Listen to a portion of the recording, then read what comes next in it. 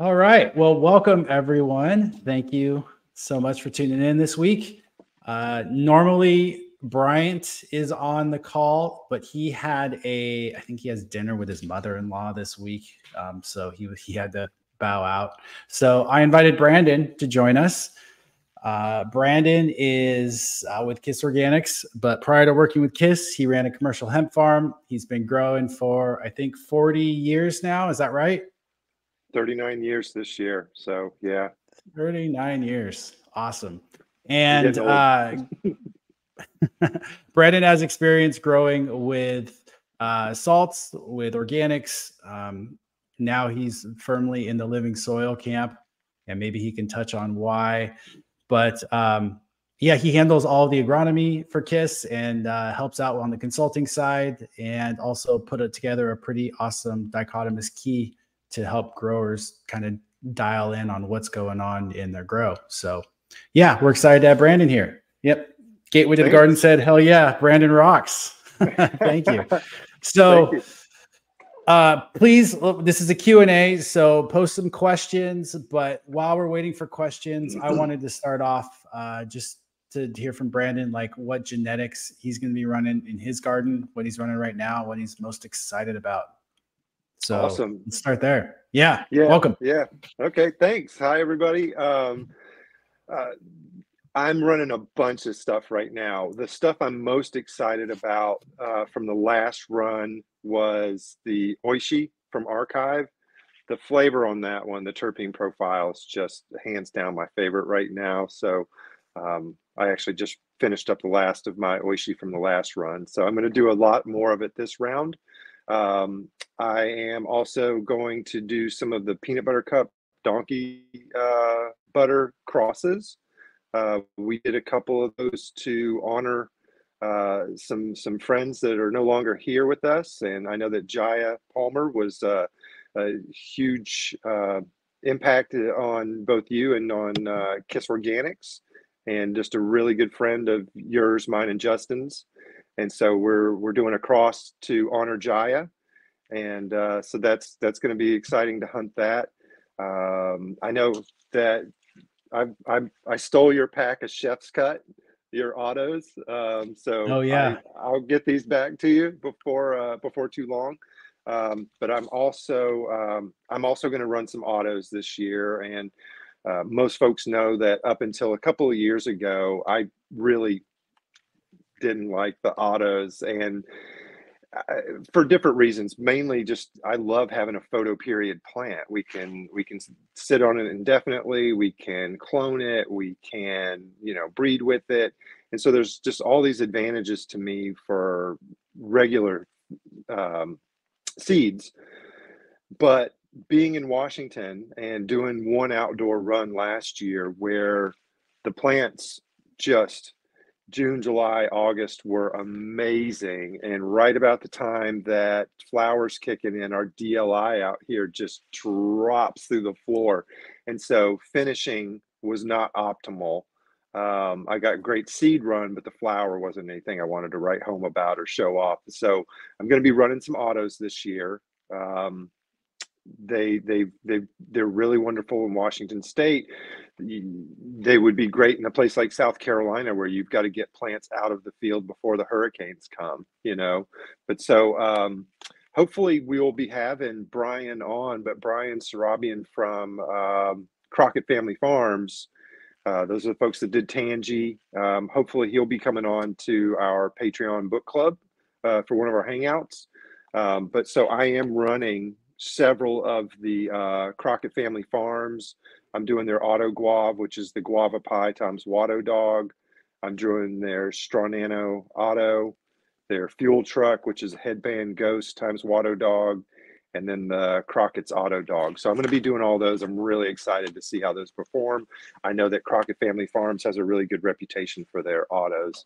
And then again, I'm super excited. Um, you know, uh, a friend with weed is a friend indeed. And so I'll definitely be stopping by to take some samples of this chef's cut. I talked to those guys at Soil Summit. So I'm excited to see how those turn out as well. Um, but yeah, those yeah, the there were there were the future cannabis project. They're, yeah, they're that yeah. part of that crew.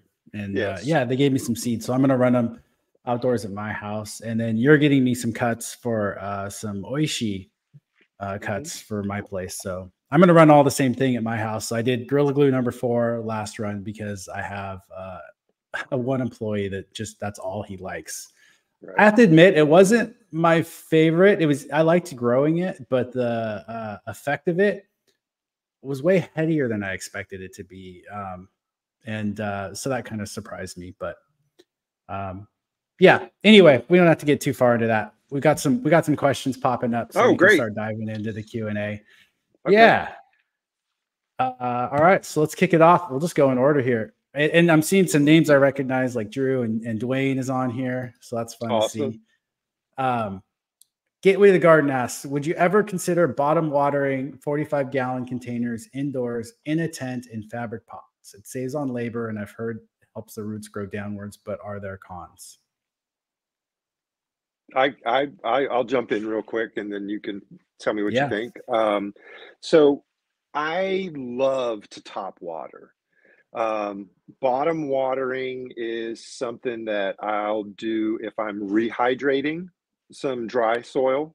You know, we've we've gone over that with some some growers. Tad and I've done some visits with some folks who were watering, but it was only getting so far down into the pot. And so once they understood that if they had those sitting in in a tray, any of that runoff is going to by capillary action get pulled back up into that pot. So um, having water coming up from the bottom is a great way to help rehydrate old stuff. Um, it's a great way, like if I'm going to go out of town and I don't have blue mats, you know, that would be a, a way to make sure that you had some water for your weekend. Um, I don't think that it's optimal because it does, you know, we, we've talked about perched water tables and we can get into that if, if people want to talk about that. But what happens is you will have a essentially an anaerobic layer at the bottom. So you're really just making your pot smaller. So that 45 gallon pot becomes a 40 gallon pot. um, I also really like top watering because as the water pulls down through, it's also going to pull oxygen into the substrate, which is which is important.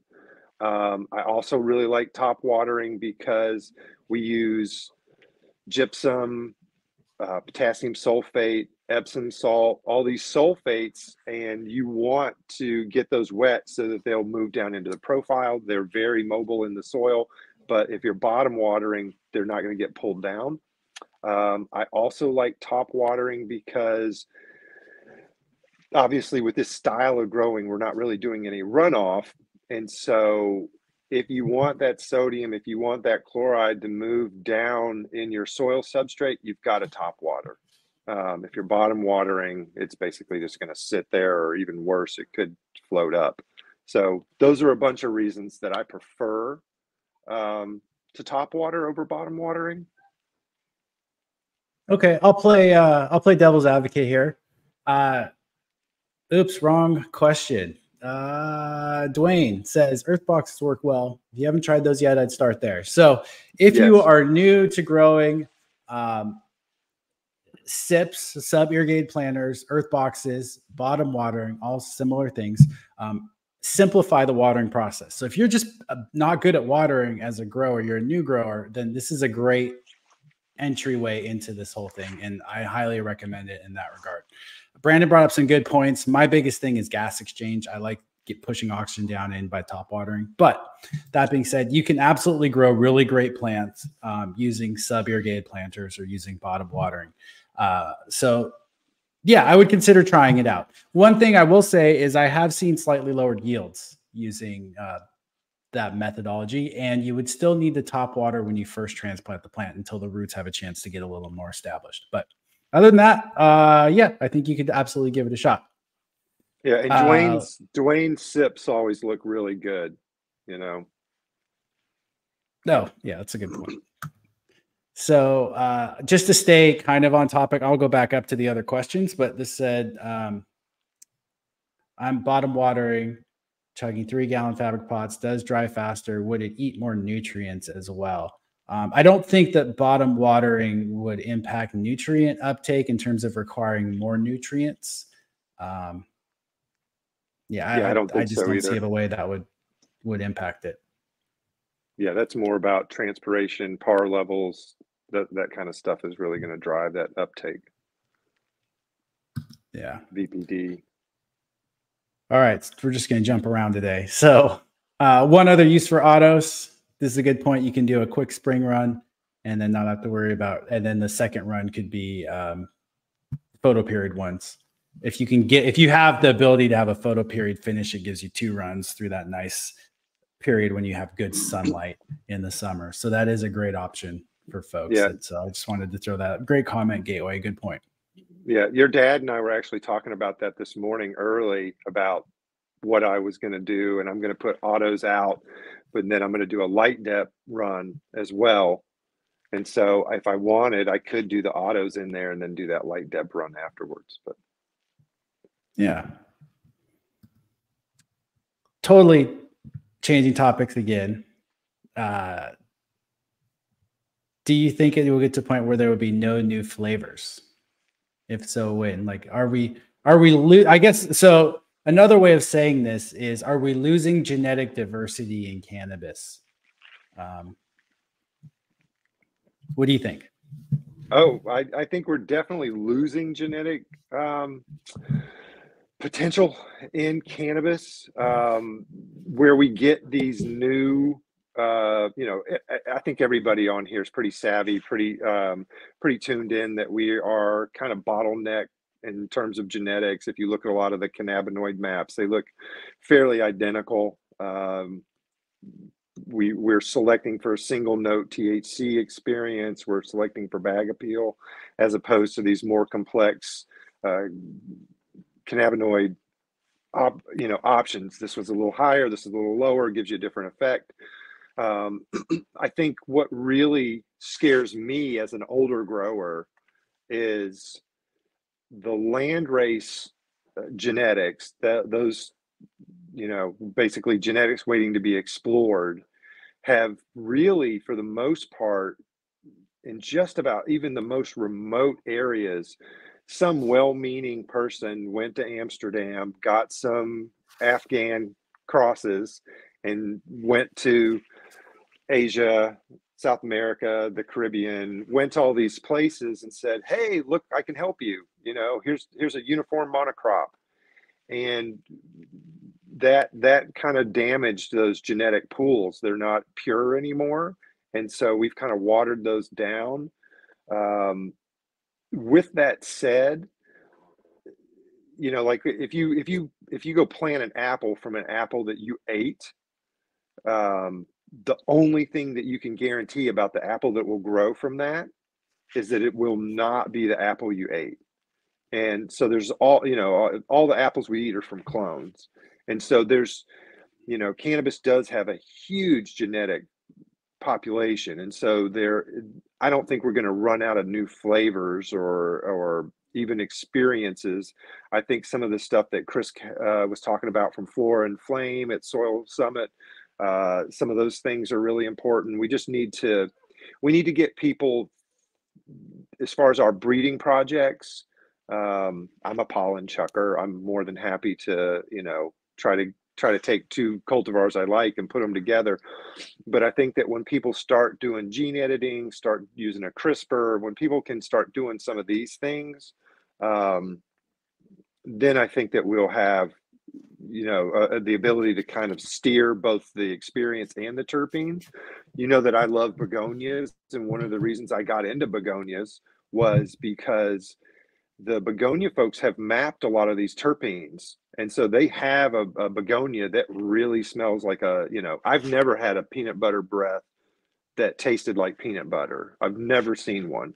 Um, you can get a begonia that smells like a jar of Jif peanut peanut butter, though. And so, sure. you know, so I don't think we're going to run out. I think that we're bottlenecked right now. And I do think that when I go into a dispo, 99% of it looks and feels the same to me. Um, but I don't think we're going to run out. I just think this plant has so much potential.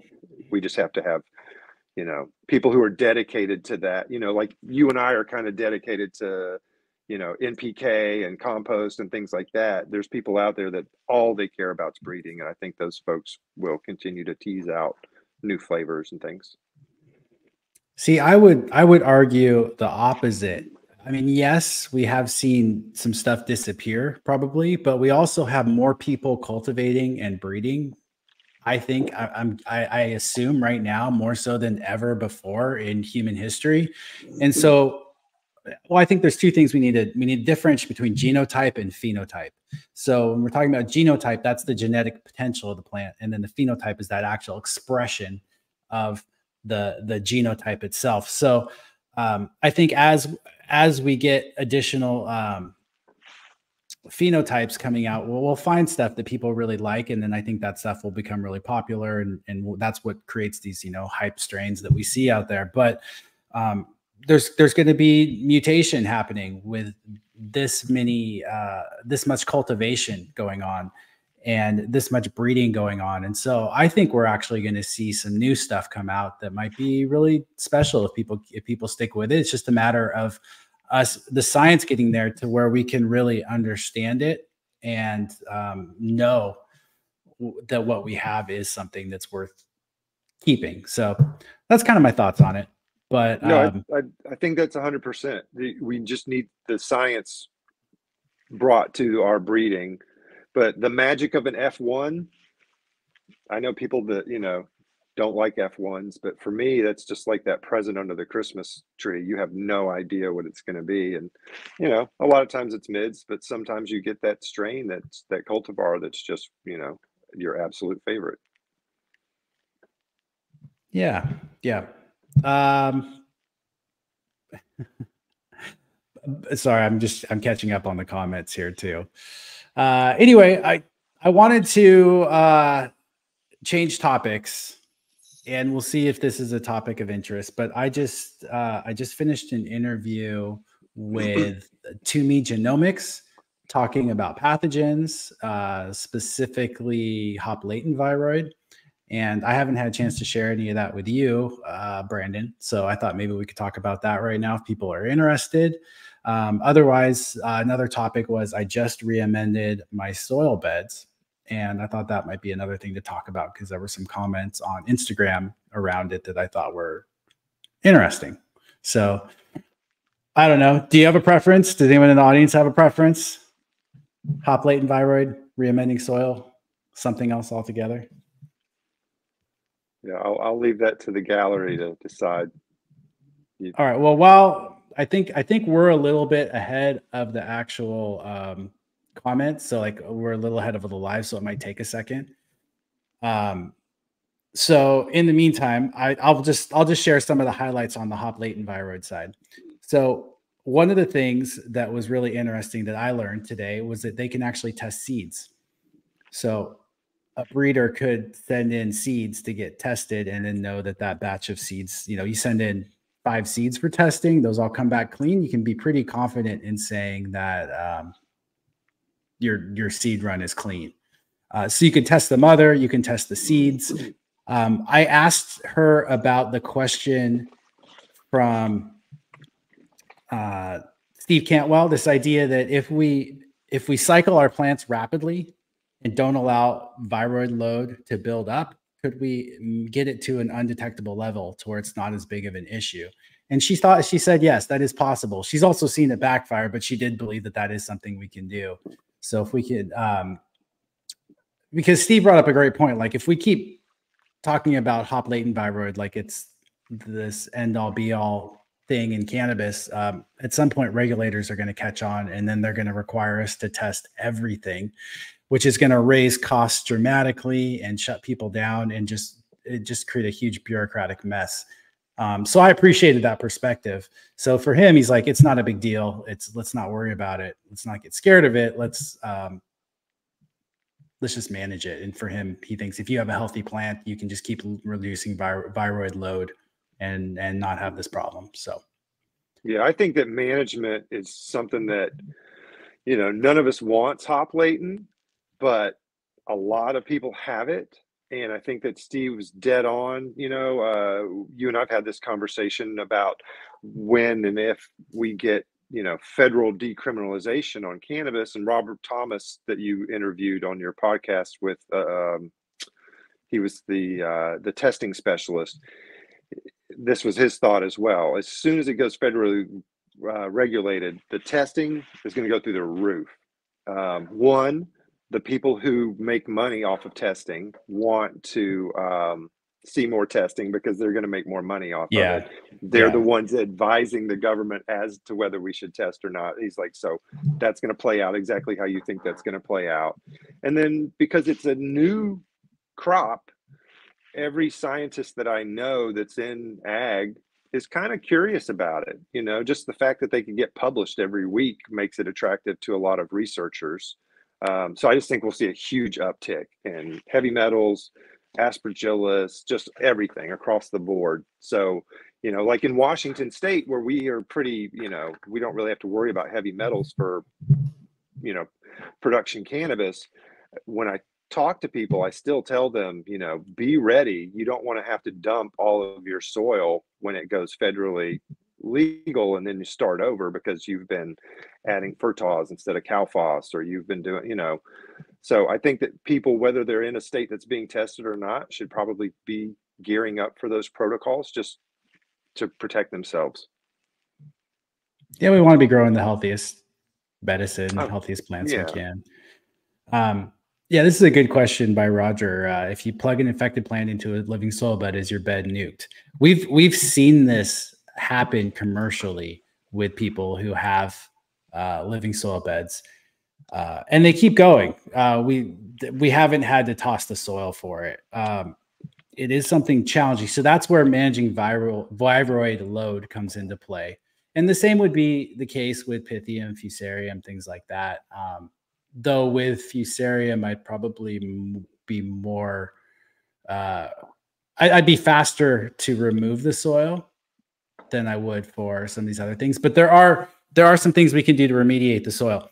With um, with hop latent viroid, it's all about viro- viroid load. So what we would typically would do, or what, what we did with with the facility that had this problem was we made sure that all the plants going in were, were as healthy as possible. And then we made sure not to stress the plant um, during the growth cycle. So avoid like wet dry cycles, avoid any weird, you know, issues in terms of how we were caring for. it. You know, there were no flooding, things like that. Um, and then the last, it makes sure the fertility was on point, CO2, all of that. And then uh, when we pulled the plant, we pulled as much of the root material as we could. And just doing that cycle after cycle uh, really helps. So this idea that what Steve was talking about of just trying to think about it as from viroid load and keep reducing that. And if the plant goes in clean, you, the thing that I and I don't have the research on this yet, but my assumption is that the, it's not picking up and moving enough viroid into the sap during that what 55 to 60 days that we're getting a huge expression uh, that's going to affect yield dramatically. If you start with a young plant in veg that has hop latent viroid and then you take it all the way through and that viroid load has time to build up, then I would expect to see uh, more likely see an issue with that expression of the viroid that would reduce yields and cause some of the other symptoms that we associate with it. But um, yeah, it's really all about it's really all about management from a viroid load perspective, and then genetics plays a huge role. Some genetics can just handle high levels of hop latent viroid, some can't. Uh, so that was that was basically some of the stuff that we talked about today.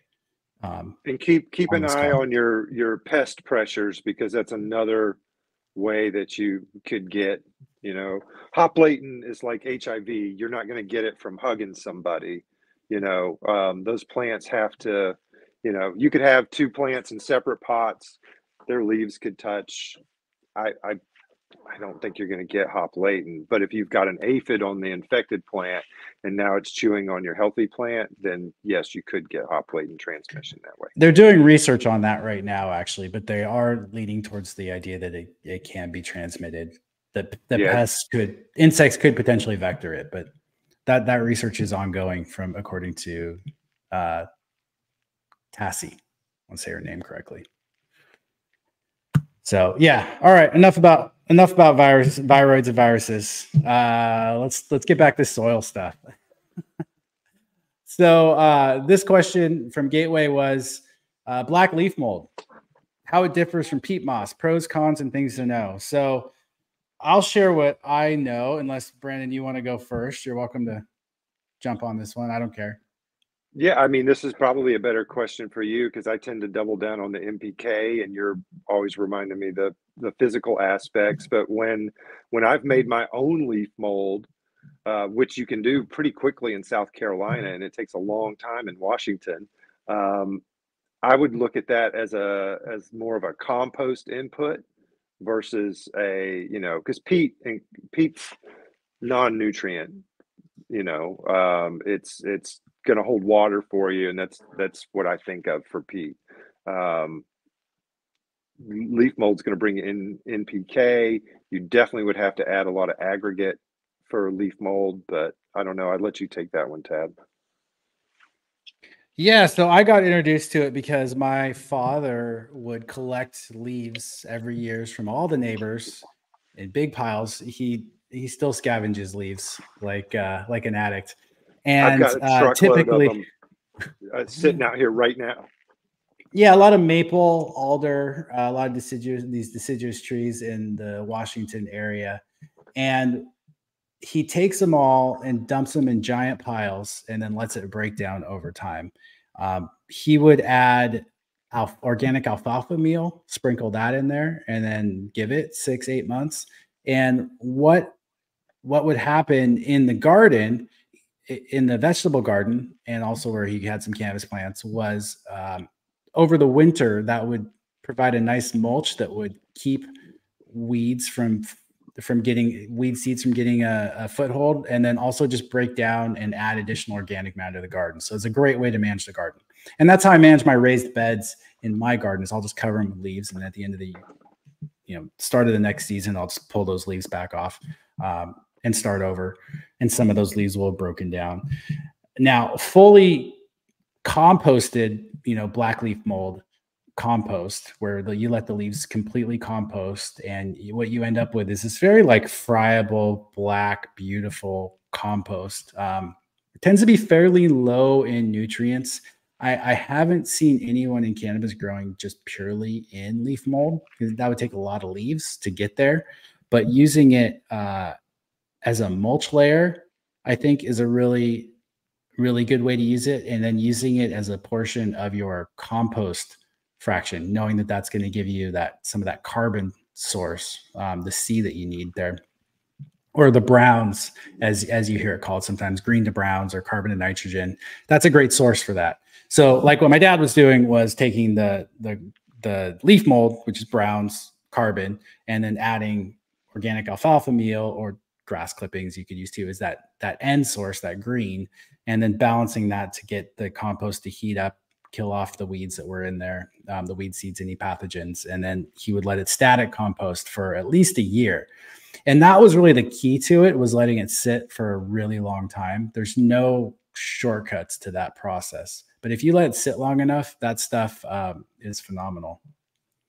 Yeah if it's if it's fully finished it's like when you go into old growth forest and you scrape back some leaves and you smell that incredible sweet black rich soil that's essentially what you're making.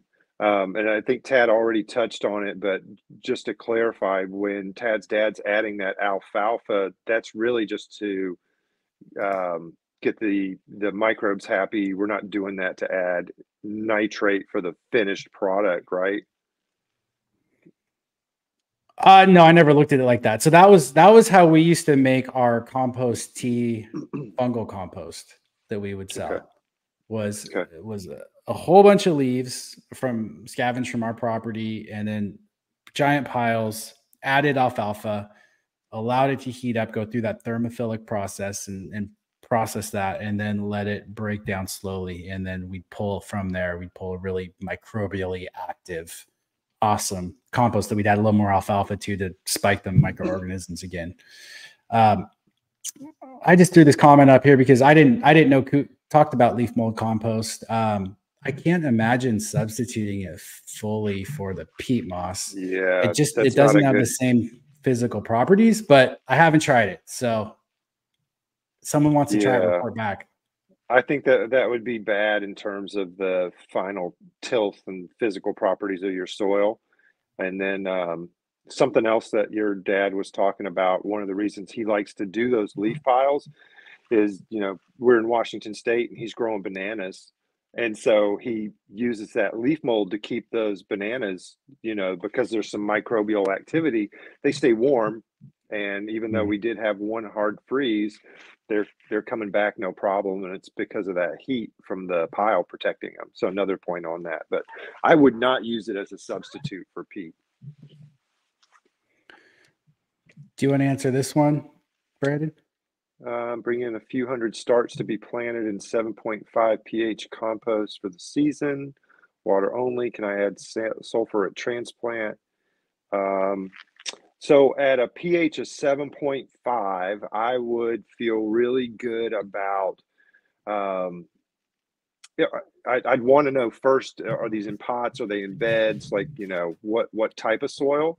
But you know, pH 7.5, 1.5 cups of elemental sulfur would bring that down. Uh, but that's per yard. So you would have to do the math on that. I would want to mix that really thoroughly with this the entire substrate before I planted into it. Um, the the reason being is you know I'll see people top dress with sulfur, hoping it'll bring their pH down, and it does. Brings it down to like three at the surface, and so any any pH management input I think should be completely thoroughly homogeneously mixed throughout the entire substrate profile. So obviously you can't do that once you have plants in. Um, and then you know young starters could be kind of sensitive uh, especially if you're top dressing with sulfur so i think you'd wipe out a good number of your plants if you did that. So i would mix the sulfur homogeneously first then then plant into it. And then you know if you can ph your water down to seven you know depends on alkalinity but that should be fine. I have a ton of questions drew. Um, I, I would want to know like are you growing in straight compost? Are you mixing that compost into with your native soil? Do you have a soil test? Or do you have any other metrics besides ph that we can go off of? What's creating that ph too also plays a role. Is it sodium? Is it calcium? Uh, what cations are they? And what's the balance there uh, also with compost, you want to make sure you want to do a germination test before you plant your, you know, you get too far into it, make sure there's no herbicides or other things that are residual in your compost. If you, if you're getting commercial compost, um, it can vary quite a bit. So, uh, yeah, there's just, it's a, it's a complicated question in terms of getting the pH down. Sulfur is a good option, but it takes time, which you don't really have. So, um, yeah, I would probably cut it with some peat and try and uh, manage it through my liquid fertigation, you know, using things that are going to drop your pH too, maybe some uh, fish hydrolysate, things like that to get your pH down a little bit. But um, yeah, yeah, yeah. I, I would try and incorporate that into another media like soil or something rather than just growing in straight compost. So yeah, I would saying, never grow in straight compost. It just doesn't have the physical attributes I want. And then, um, yeah, I, I think peat's a great suggestion because it's acidic and it's going to bring your pH down some anyway. Then there, there actually was a, there was I, I got into this pretty deep because there was a Canadian farmer that was dealing with an issue kind of like this. Their soil was really high and they needed to lower the pH right away. Um, the one study I found on it showed that the adding peat moss did not lower the pH significantly. Um, I'll have to go back and, and read into that. And that's what led me down the road to sulfur and things like that. So I, I don't know. Um, that's Com- a tough compost. One. Compost is such a tough topic because even with commercial compost, as you and I've seen over and over and over again from all the tests we look at, it's really, really hard to get um, inputs that are consistent. And so obviously inconsistent inputs, inconsistent output. And then, you know, I, the number of tests I've seen of folks who are doing their own local compost, they're almost always off the charts with one or both bad actors, sodium or chlorides. Um, a lot of them have heavy metals.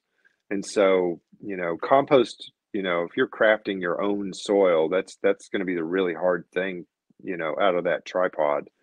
Um, yeah, compost. Yeah, there's so many questions about compost before you would even add it. Um, so, yeah, just to jump in on that, I think uh, just to back up, whenever you think about soil, or if you're thinking or media, or using your compost as your soil or media, um, just keep in mind that there's really three things you want to look at: the physical aspects of that because compost can be very well strained and very fine and you could add water to it and it could turn into a mucky mess or it could have a lot of large particulate in it that actually allows for good you know porosity and gas exchange and all of that. So there's the physical properties there's the biological properties which i wouldn't worry about too much with the compost you're, you're probably going to have that there it's the nature of compost and then the chemical properties like make sure it's not super high in sodium or uh, chlorides or that it has sufficient calcium or not too much potassium uh, all of those things are really nice to know if you don't know them at the end of the day just plant some plants see how they do if they seem happy you can kind of manage from there if um, I could only have one metric on a compost test, I would want to know the carbon to nitrogen ratio. And then if I could get two, I'd want to know the pH. So if I, you know, I feel like I can do more work with that, but making sure that carbon to nitrogen ratio is under 18 to 1, I think that's the most important thing as far as selecting a compost. Because it just won't just won't release any nitrates. Cool. All right. So, what is the release rate for calcium silicate, uh, aka wollastonite? Um, I can touch on this. Did you have anything you wanted to say regarding it? do you want me to tackle it? You can tackle it, but it's just a slower. It's going to be slow to break down. Um, silicate, silicate versus sulfate. You can always think that the sulfates break down quickly, the silicates break down slowly. That's the rule I've always followed. If, tell me if I'm wrong. Well, well, potassium silicate's pretty available. Yeah, true, true. Yeah. Okay. um, so. What I was going to say though is the the things to think about with release rates in soil is uh, one, it's complicated. It's not standardized across the board. Um, I don't think of it as like you, I, I always heard like blood meal is, is a fast release nitrogen and feather meal is slow release nitrogen. Um, and and things get categorized that way. So like, do you want your nitrogen right away, all up front, or do you want it over a period of weeks, kind of thing? I think a better way to look at it is um, in relationship to particle size. So like, are we putting in uh, um, like a very fine powder?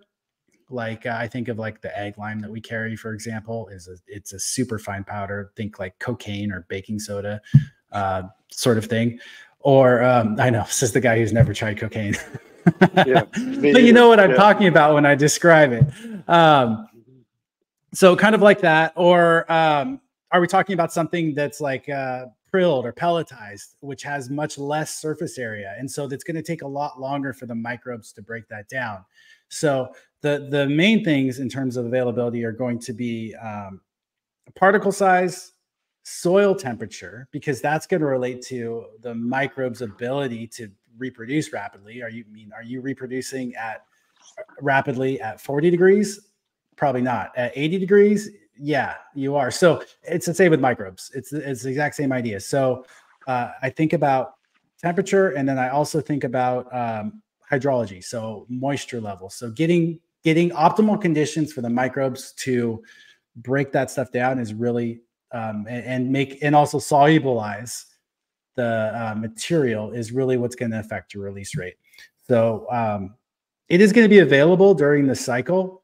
Uh, things like diatomaceous earth, calcium silicate are great SI sources of things that can be added in uh, to when you go to reamend. Otherwise, uh, things like uh, potassium silicate, the Agsil 16H is another way to get good available SI uh, as you're going along. Uh, let's see here. What is this? I'm catching up on comments here, guys. But silicate versus carbonate is wollastonite versus lime. Sulfate is gypsum, which doesn't affect pH and only soluble. Yes. Yes, that's all true. So wollastonite, calcium silicate. Lime, uh, like agricultural lime, calcium carbonate. Um, dolomite lime or dolomitic lime, calcium magnesium carbonate. Gypsum, calcium sulfate. Um, you're right. Wollastonite will raise pH, but not as rapidly as agricultural lime or oyster shell flour, which is really the same thing as ag lime. Gypsum doesn't affect your pH. Um, true to to a most to the certain extent. Yeah, it's not. It's going to buffer your pH for the most part.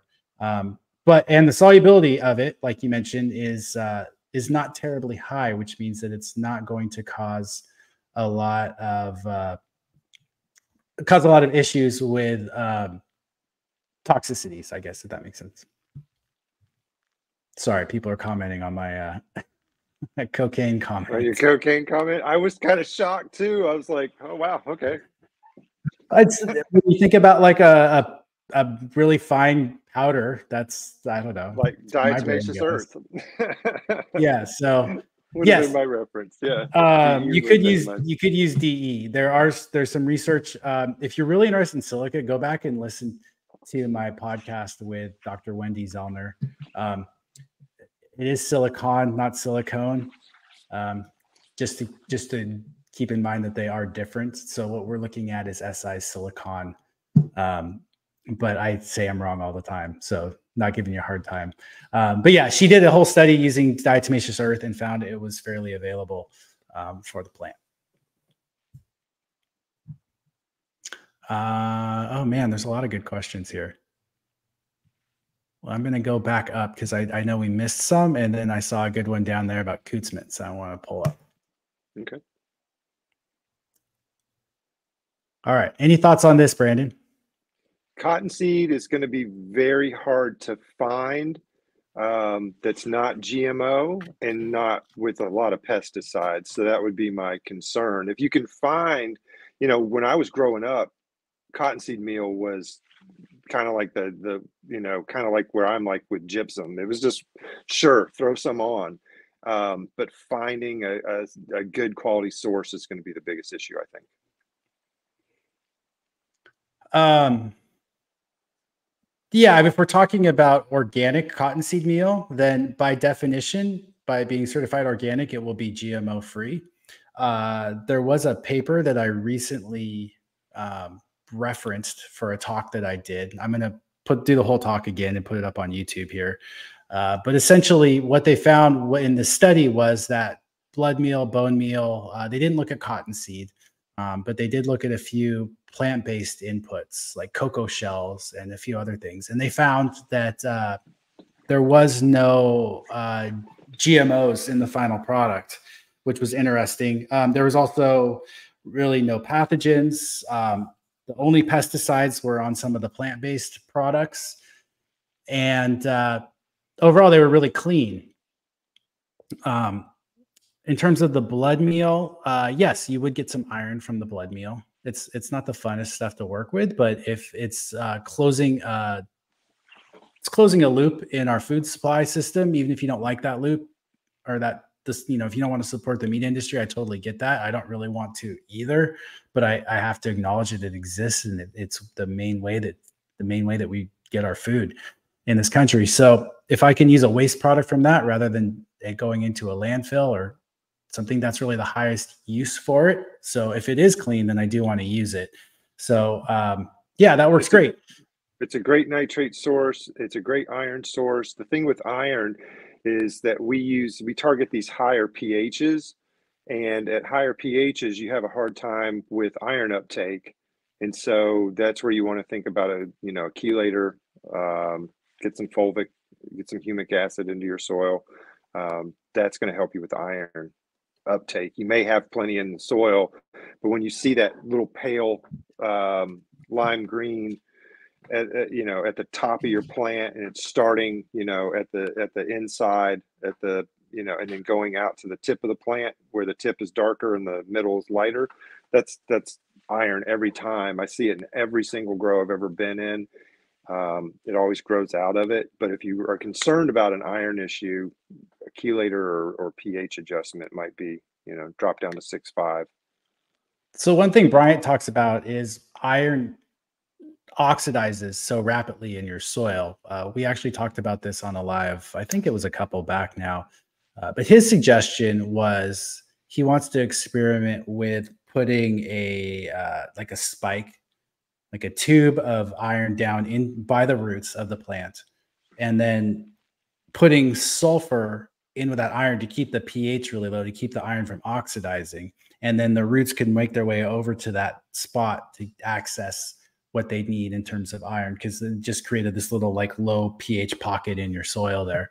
Uh, the only issue with that is when you go to reamend, you'd have to be aware of that and kind of be careful. And when you go to soil test, also be aware of that and not pull your sample from there because that would mess up your test. But um, I haven't figured out a way to trial that without really like impacting my beds to where I might have to take them out or make massive adjustments. But I, I think that would be a fun experiment to run maybe in a larger container or something to see. Um, but I don't tend to see, like you said, the iron doesn't seem to be. I haven't done enough tissue testing.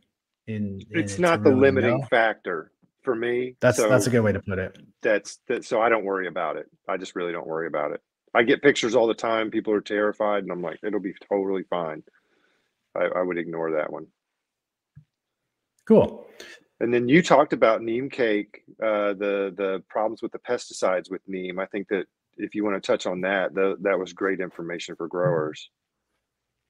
Yeah, I actually, so I just did an episode with Mr. Grow It today, and then we talked about neem cake. Um, nothing wrong with neem cake in the sense it's got fertility. I know Coots really, uh, he's the reason I added it to my soils originally. He really likes neem.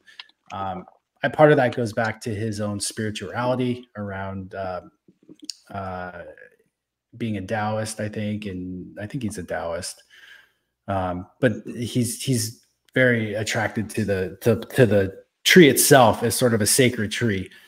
Um, the issues with it are that it's grown in India, so right right away there we have a huge fossil fuel cost just to get it to us here in the United States.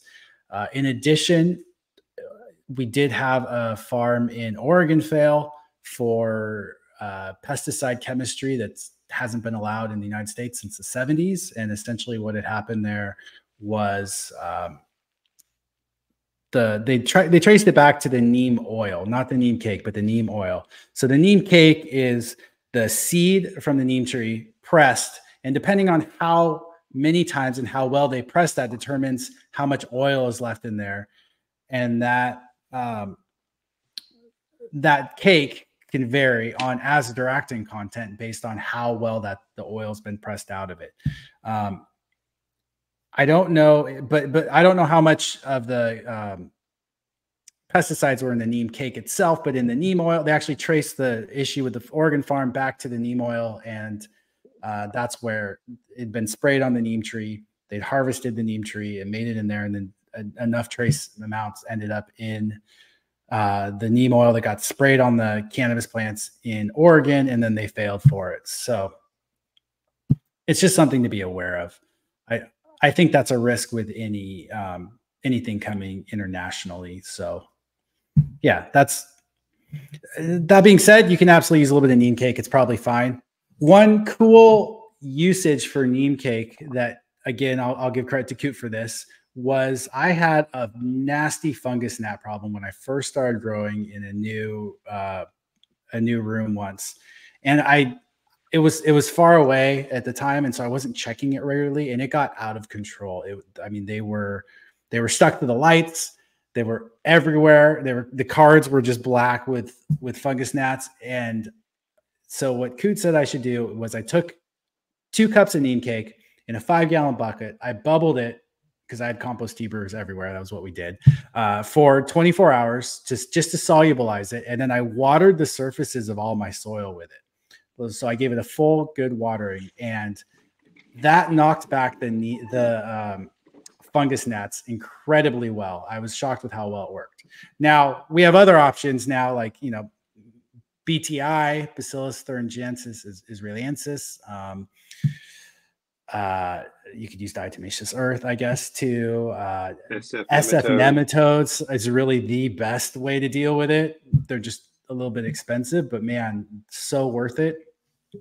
So yeah, the, but that's a good little neem cake trick that you could always try if, if you were on a budget and you had some laying around and you had some fungus gnats. It's worth a shot. So and for the pest deterrence note there, I really like frass or anything that's got chitinase in it as far as something that sends out a um, detectable warning to insects as a deterrent. As a Azadirachtin will kill insects, but I don't know, and it's just my ignorance. I don't know if it's a deterrent or not chemically. I thought I, I heard it was a neural disruptor for insects. I I know that you have to be very careful with it around marine life. Um, yeah, and then also uh, I wonder if it would kill roly polies then, because they're a mollusk, and that's one of the problems with isopods. You know, people can't get rid of them. I wonder if, um, as a I don't believe so. Okay, I don't believe so. I I I know people have tried that. Yeah, one thing that is interesting that Suzanne shared was some research that neem oil, when applied, will keep beneficials from coming back to the leaf surface longer than okay. something like SuffOil. So you apply your SuffOil, you can come back in 24 hours later with your beneficials or even hours later, really. Whereas with neem oil, they you may come back in with them and then they may just like wander off again because they don't like uh, I'm gonna guess the probably the the smell of the neem or there's something in there, some chemical component that makes them not want to be there. So, yeah, uh, Bob, I wanted to comment on this because I this has happened to me too. Uh, the best thing I found to do when I when you get your Agsil is is take it, put a little, take a gallon jug like an old milk jug, put a little bit of water in the bottom. You know, it's filled up like a quarter of the way. Wear a mask. You won't get silicosis from this. Interestingly enough, even though it is potassium silicate, because uh, I did ask Dr. Zellner about that. But but wear a mask, wear gloves, pour it in there. It's going to actually heat up a little bit. It's an exothermic reaction, which is crazy. Um, and then fill the rest of it with water, and then that becomes your concentrate. And then you just take it every time you want to use it, shake it. What half teaspoon, teaspoon per gallon, I think is the is the rate on yeah. that. Um, and it just makes it really easy. So yeah, otherwise you're it's going to turn into a rock. Yeah. And my mine did the same thing you know, the first time I got Agsil, and I just I I have this brass hammer that I just beat it up with, and it pulverized it, and mm. that's it. Yeah. All right. Stadwind asked this question twice, and uh, so I felt like that's Casper. Hey, Casper. Casper from Germany. We met at Soil Summit. Oh, Casper. Hey. Hey, buddy. Yeah, yeah, Good to see yeah. you on here. Straight from um, Soil Summit to, to Spannabis. Uh, so hopefully he's back home safe and sound now. I have some thoughts. Do you do you want to comment on this or do you want me to take it? Go for it. I've got some thoughts too, but yeah, go for it. You can go first. Go ahead. I've been okay, talking too much. Well, I, I feel like you'll probably have more to add to this. Um, the coot mix, uh, there's a couple things that I would change. One, um, I I lean on compost, um, and it might be because I'm an NPK guy, but I lean on compost most heavily for biology. And so I tend to use, if I'm going to make my own mix, I tend to use less compost than a lot of folks do. I think that having a little bit of good quality compost is is all I need. So I'm I'm focused on um, the the mineral nutrients one of the issues that I see with testing Coots mix is the variability in compost from person to person. And Coot spends so much time feeding his worms so that their their exudates, their poop, their you know the vermicompost is going to bring in a good bit of the the fertility for a mix uh, for him personally. What I see when it's somebody in Germany or somebody in South Carolina or wherever, if they don't have that same compost, they end up falling really short on their fertility. Um, so I think those are my two main things with it. Tad, what do you? Yeah, so I so you said the biology, and then I the, like less uh, compost. I think he puts too much compost for just the physical aspects. I don't like that. I don't like that one third, one third, one third uh, approach to things, and I I feel like that's it's just too much. Like you were talking about, you know, if you've got a lot of fines, uh, and we just saw it with Justin, you know, uh, and and um, another grower when they were trying to flush big long beds, all those fines just kept blocking everything up for them. Um, it, you know, it's definitely detrimental to your gas exchange and your soil. Um, so that and, Yeah. and the fertility, those are my two primary issues with it. Okay. Um, yeah, so I definitely like to use less compost um, for a few reasons. Uh, one, the physical property. I like the the properties of peat a little bit better. So I typically would go like 50% peat, 33% uh, pumice or perlite, and then 17% compost. So uh, what does that equal? That's pretty close to 100. I think I nailed Yep. it.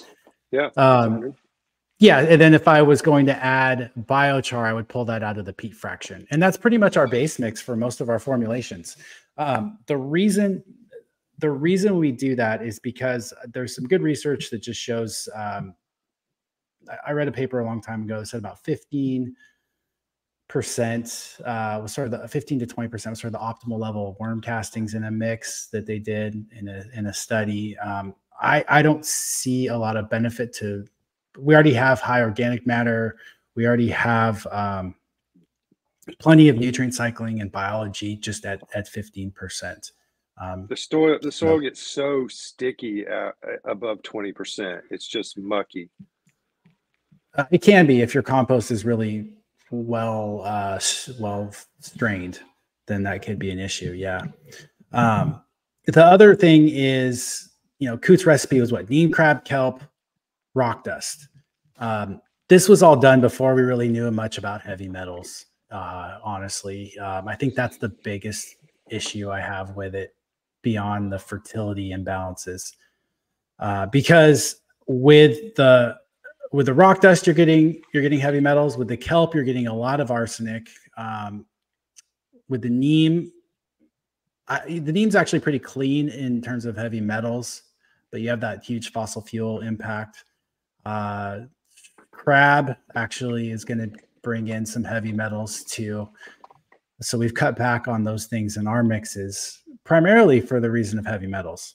Um, and I think that the balance of nutrients, like like Brandon talked about, you know, could always someone else already said in here, like you're never growing in Coots mix because you don't have Coots you don't have Coots compost. And and that just brings up a better point is like you should always formulate your soil around your compost source. You know, we've had to go through it here recently with KIS with trying to source new commercial composts. And that's your starting point because every compost is going to be different. So And that's Bryant's line Yeah. as well. You know, you build around your compost, and because that's the variability, you have to do it that way. Yeah, so I don't think this is so much about sing like uh singling out Coots recipe as it is any online recipe uh potentially could have this issue. So And again, just it something to keep in mind. works. It works really well for Coot because he does all this, you know, work for his compost, his vermicompost. Um, so, could it work for somebody else? It most certainly could. Uh, on average, I think people will run into issues just because of the the variability on compost. yeah, I think it's a good starting point for folks on a recipe if you just don't know where to start. Um, something like that could work. Um, I personally like our nutrient pack better, but obviously I'm biased towards that. Uh, but yeah, a lot of people have grown in Coots mix and gotten really great results. So I don't want to say that it's not possible. It's just these are the things to consider if you want to look at it from a sort of a soil science perspective or from a soil testing perspective. And I think you can definitely we can demonstrate just and it doesn't have to be the KIS nutrient pack, but a complete organic fertilizer that's hitting our target metrics, which are higher than what's in the Coots mix, you get better yields, you know, with with that added fertility. So we, you know, we've been able to see that over and over again. Yeah, the last thing to touch on would be the bulk density of the soil with compost. It's gonna it's gonna increase faster than something that's a little more of a, a stable uh, substrate like peat. So, yeah, I don't know that I have a lot more to add to that, but that was a good question. Yeah.